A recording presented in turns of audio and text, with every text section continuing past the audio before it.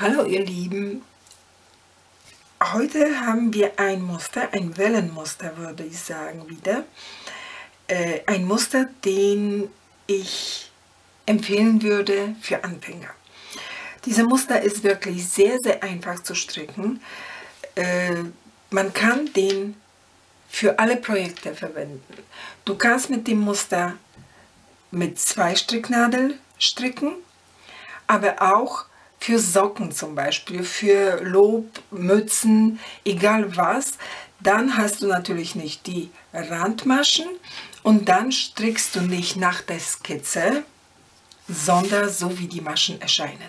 Das sage ich dir gleich. Ich habe diese, diese Beispiel hier für euch mit äh, Baby Merino Mix von Drops gestrickt mit Nadelstärke 3. Ich habe das nur hier auf die etwas dicke äh, Stricknadel genommen, um das bisschen weiter zu, zu, zu kriegen oder auseinanderzuziehen, um euch das besser zu zeigen.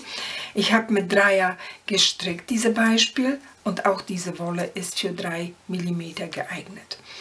Wie ich schon sagte, Baby Merino Mix von Drops, 100% äh, Wolle.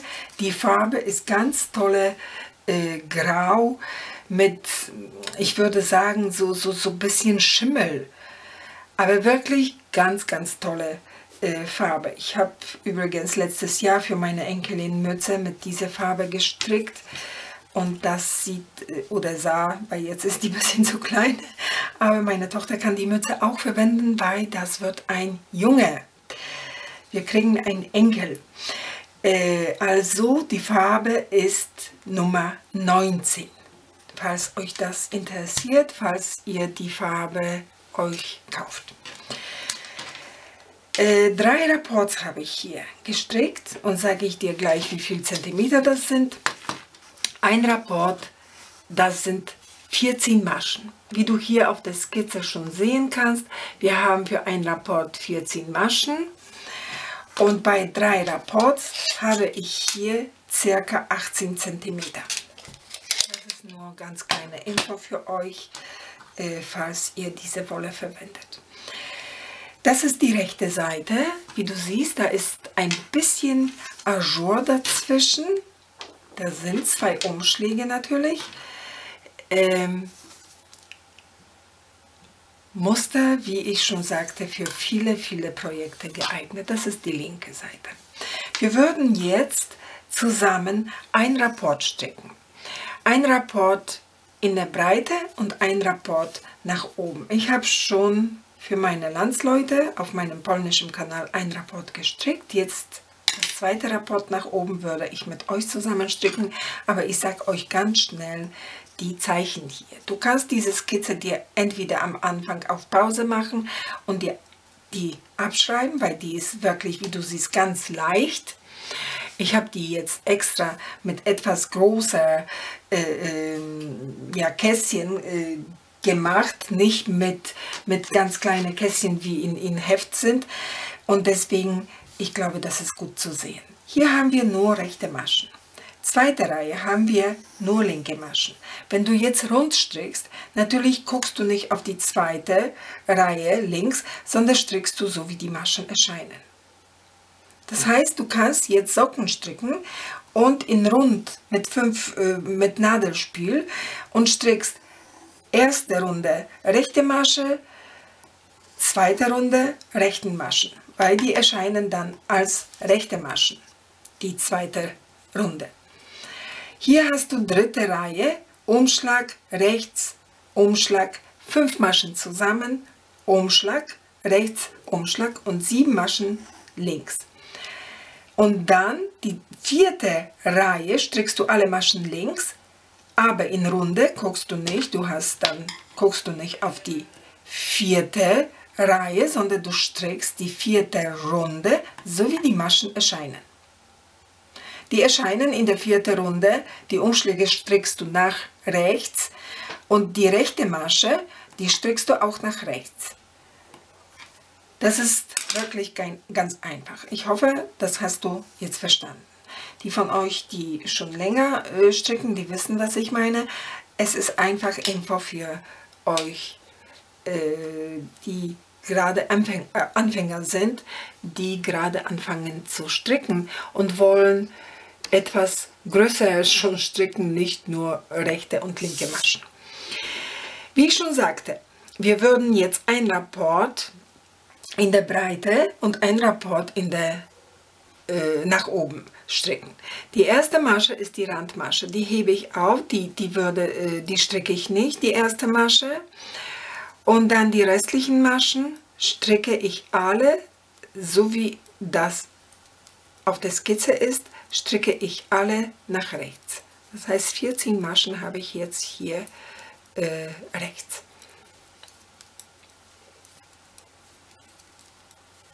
Und die letzte Masche ist die Randmasche, die stricke ich nach links.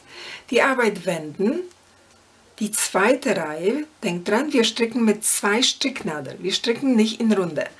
Also die zweite Reihe haben wir alle Maschen, äh, stricken wir nach links. Die erste Masche ist die Randmasche, die habe ich nicht gestrickt, die hebe ich einfach und dann die restlichen Maschen in der zweiten Reihe stricken wir nach links.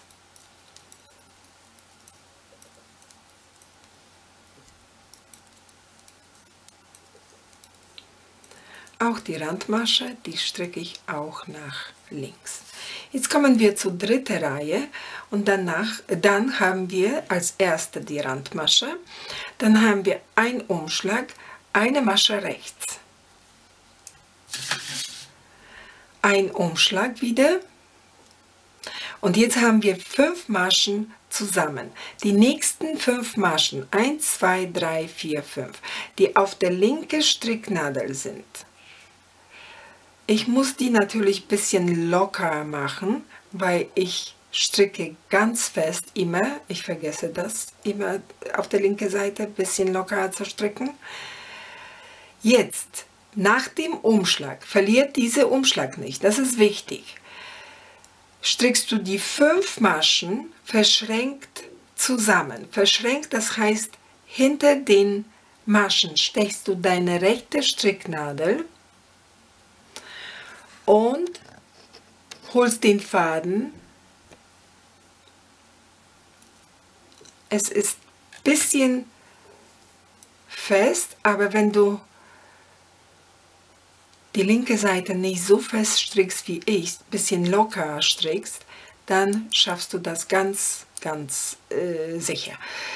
Jetzt den Faden holen. Der Faden ist hier auf der rechten Stricknadel. Das heißt, eine Masche haben wir aus fünf gemacht. Und erstmal jetzt die linke Stricknadel rausziehen. Jetzt machst du dir das bisschen hier zurecht dann machst du einen Umschlag, eine Masche rechts und wieder ein Umschlag. Sieben Maschen links, eine Masche links, die zweite und die dritte und so weiter. Sieben linke Maschen. Wenn du jetzt die siebte Masche fertig hast, und strickst mehrere Rapports, weil ich kann mir vorstellen, dass eure, Rapport, äh, eure Projekt besteht nicht nur aus einem Rapport. Also hast du hier mehr äh, Maschen, dann strickst du wieder von vorne. Das heißt, machst einen Umschlag, eine rechts, ein Umschlag und so weiter und so weiter und erst am Ende strickst du die Randmasche nach links. Das war jetzt die vierte Reihe. Und jetzt kommt die, äh, Entschuldigung, das war die dritte Reihe. Und jetzt kommt die vierte Reihe. Und in der vierten Reihe strecken wir alle Maschen nach links. Ich kann mir gut vorstellen, diese Muster zum Beispiel, ich habe das nicht ausprobiert, aber ich kann mir gut vorstellen für, für Mützen oder für Lob, für Pullover, ich, im Grunde genommen für jede wirklich für jedes Projekt. Ist ganz tolle, würde ich sagen, Herbstmuster. Ganz zarte, schöne Muster. Das war jetzt die vierte Reihe. Die vierte Reihe haben wir alle Maschen äh, links gestrickt. Und jetzt kommen wir zur fünften Reihe. Und in der fünften Reihe stricken wir alle Maschen nach rechts. Du siehst schon, dass diese Muster ist wirklich ganz einfach und ganz schön. Alle Maschen in der fünften Reihe stricken wir nach rechts, nur die Randmasche stricke ich nach links. Die Arbeit wenden. Wir kommen jetzt zur sechsten Reihe. Die sechste Reihe, wie du siehst auf der Skizze, haben wir linke Maschen. Und hier muss ich dazu sagen, dass das ist wirklich, musst du zu, äh, äh, mir zustimmen, dass diese Muster ist wirklich für Anfänger. Da hast du nur rechte und linke Maschen und in den zwei Reihen, die, die Reihe 3 und die Reihe 7, da hast du nur die Umschläge und die, die fünf Maschen äh, zusammen. Also wirklich für die von euch, die gerade äh, haben angefangen stricken zu lernen.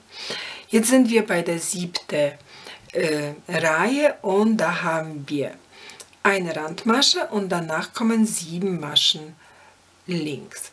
Wie du siehst hier auf unserer Stricknadel, die linke Stricknadel, erscheinen die Maschen als rechte, rechte Masche.